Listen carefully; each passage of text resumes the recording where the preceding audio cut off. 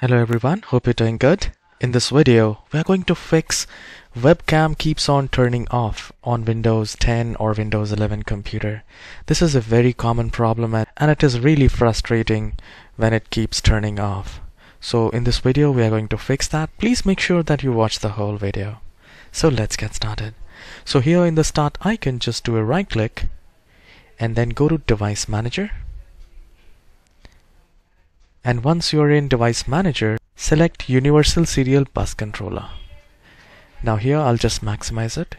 Now we need to check all these bus controllers one by one and I'll tell you why.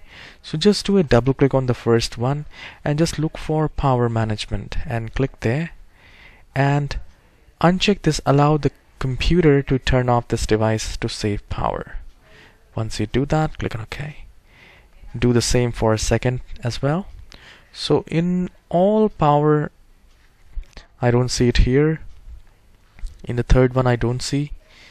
In the fourth as well I do not see it. So just make sure that you select all and check if power management is there.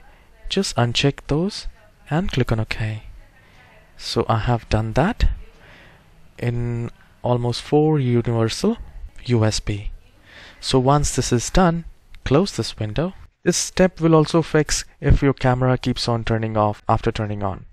So you just need to search camera and here once you just once you search you will find app settings.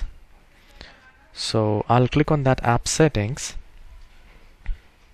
and I will scroll it down and here you will find repair and reset. So I would recommend to reset the camera this so if you have issues with the camera this will reset the camera and it will definitely help. So I just have clicked on reset and once this is done restart the computer and see if your camera is working absolutely fine or not. And if it's not there is one more effective step which we can do. And for that we just need to do a right click on the start icon and go to device manager.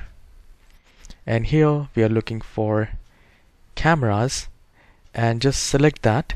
Just do a right click and click on update driver and select search automatically for drivers.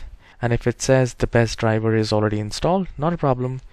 Just do a right click on that and click on disable device. And once it is disabled just do a right click and click on enable device and restart the computer and let me know it has worked for you or not. And guys if you have not hit the like and subscribe please hit the like and subscribe. I'll see you in the next video. Have a wonderful day